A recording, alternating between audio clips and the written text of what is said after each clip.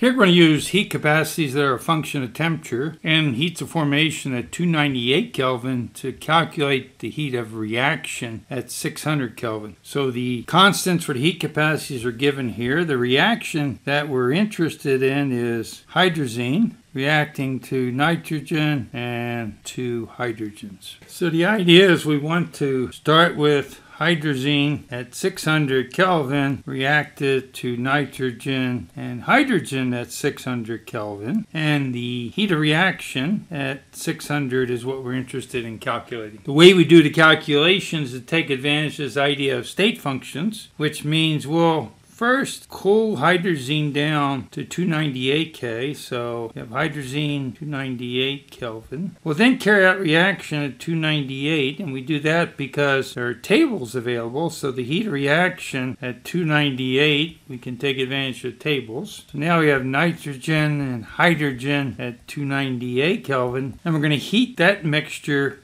back up to 600. So we essentially have three steps, three delta H's that we want to calculate. This delta H is integral from 298 to 600 of heat capacity of nitrogen, plus since we have two moles, 2 times heat capacity of hydrogen. And this delta H here is integral from 600, because the direction we're going is from 600 down to 298, of the heat capacity of hydrazine. And so if we calculate these three terms, 1, 2, and 3, and add them together, we get the heat reaction at 600 Kelvin. So let's look at just one of these terms. Let's look at this integral from 600 to 98 for hydrazine. And so that's going to be the integral A plus b times t plus c times t squared plus d times d cubed. When you integrate that, and that gives us a times t, b over 2, t squared, c over 3, t cubed, d over 4, t to the fourth. All of this evaluated between these two limits. So we can substitute in the values. We have the values here for hydrazine. A, B, C, and D, and the limits.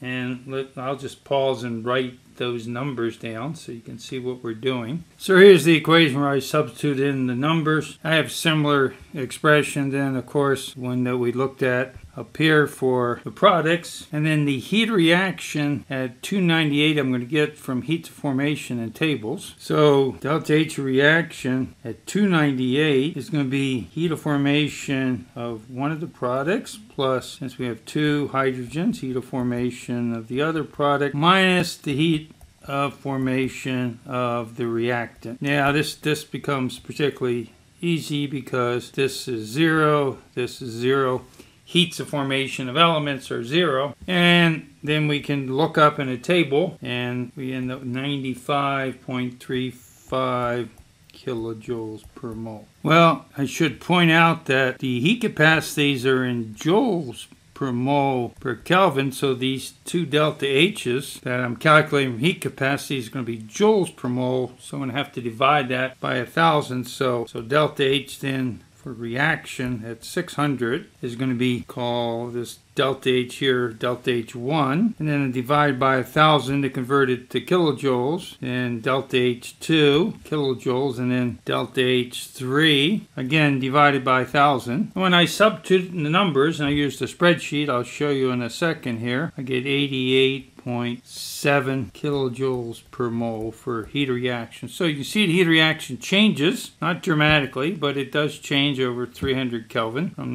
minus 95 minus 80 essentially. And let me just show you briefly the spreadsheet. So I put in the heat capacity. The delta heat capacity is just products times their stoichiometric coefficients, which are positive, you know, minus reactants, their stoichiometric coefficient. And integrating, so you can see here is the answer in joules for both delta H1 plus delta H3. And here is that integral, those two integrals in kilojoules. So in the spreadsheet, I use the idea of delta Cp, meaning heat capacity of nitrogen plus 2 times the heat capacity of hydrogen minus the heat capacity of hydrazine. And so this corresponds to when I integrate integral delta Cp from 298 to 600, I get those delta H1 plus delta H2 that I just calculated. Now in the spreadsheet, you'll notice in addition to this calculation at 600, I created the data table. And so this shows how heat capacity changes